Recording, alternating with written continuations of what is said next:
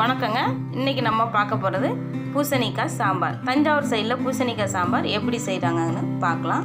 இதுக்கு தேவையான பொருட்கள் கடுகு ஒரு டீஸ்பூன் சீரகம் ஒரு டீஸ்பூன் தேவையான அளவு எண்ணெய் இரண்டு வத்தல் மிளகாய் தேவையான அளவு உப்பு தேவையான அளவு பெருங்காயம் ஆஃப் டீஸ்பூன் மஞ்சள் தூள் டூ டீஸ்பூன் குழம்பு மிளகாய் தூள் வேக வைத்த பருப்பு. நறுக்கிய பூசணிக்காய் சிறிதளவு வெங்காயம். வேக வைத்த பருப்புடன் தக்காளி சேர்த்து கொள்ளவும். ஸ்டவ் ஆன் பண்ணிக்கோங்க.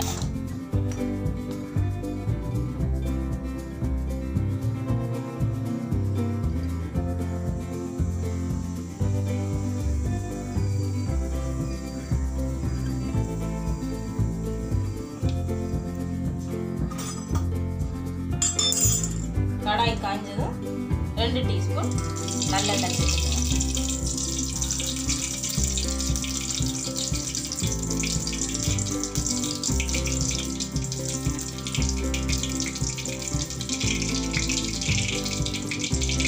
ஒரு டீஸ்பூன் கடுகு போட்டுக்கோங்க. கடுகு நல்லா பொரிஞ்சதும் சீரகம் அரை டீஸ்பூன் போட்டுக்கோங்க. இரண்டு வத்தல் மிளகாய் போட்டுக்கோங்க.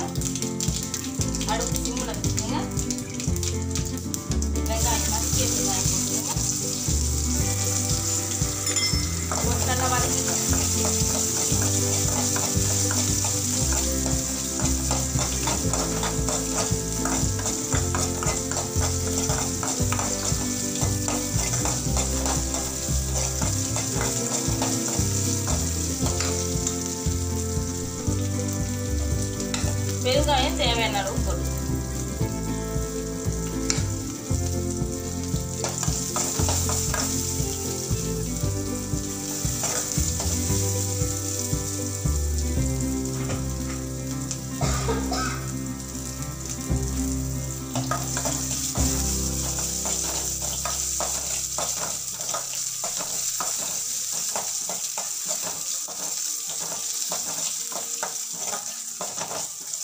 வெங்காயம் வதங்கினாலும்.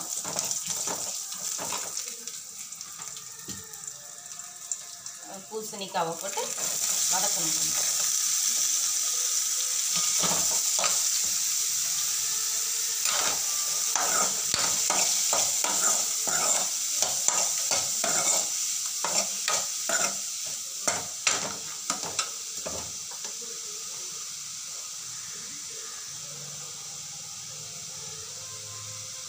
இதில் ஹாஃப் ஸ்பூன் உப்பு போட்டுக்கோங்க.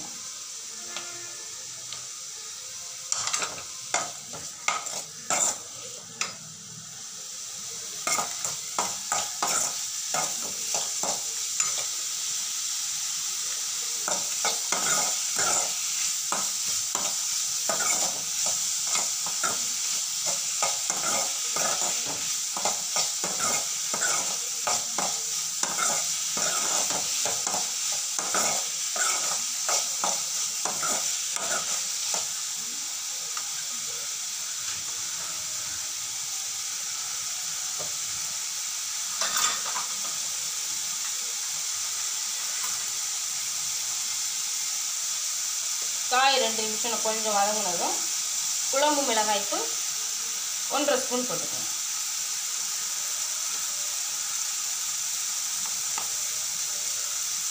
மஞ்சள் தூள் அரை ஸ்பூன் போட்டுக்கோங்க.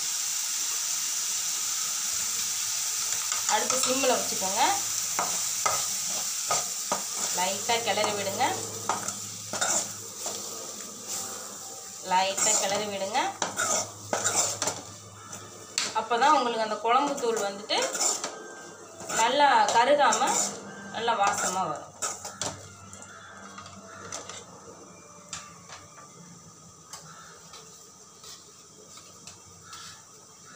இப்போது நீங்கள் வேக வச்ச பருப்பு தக்காளி இதெல்லாம் இதிலே வேக வச்சு அரைச்சிருக்கு. அதை இதோட ஊற்றிடுங்க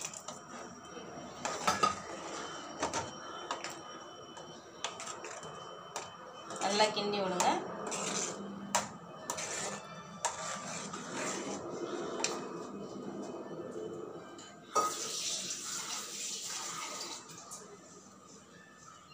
ரொம்ப கெட்டியாக இருக்குன்னு நினச்சிங்கன்னா கொஞ்சம் தண்ணி ஊற்றிக்கோங்க உப்பு பார்த்து இதுக்கு தேவையான அளவு இன்னும் கொஞ்சம் உப்பு சேர்த்துக்கலாம்.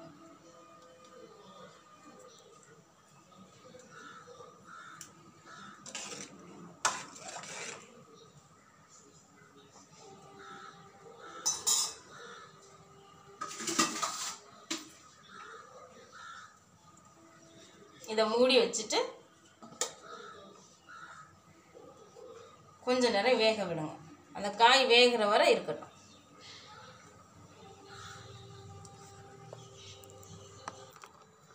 ஃபிஃப்டீன் மினிட்ஸ் கழித்து காயெல்லாம் நல்லா வெந்தவுடனே சாம்பார் நம்மளுக்கு ரெடி ஆகிடுச்சு இதே இந்த சாம்பார் உங்களுக்கு பிடிச்சிருந்துச்சுன்னா லைக் பண்ணுங்கள் ஷேர் பண்ணுங்கள் சப்ஸ்கிரைப் பண்ணுங்கள் கூடவே பெல் பட்டன் ப்ரெஸ் பண்ணுங்கள் நான் எப்பப்போலாம் உங்களுக்கு டிப்ஸ் கொடுக்குறோனோ அதெல்லாம் உங்களுக்கு நோட்டிஃபிகேஷன்லாம் வரும். தேங்க்யூ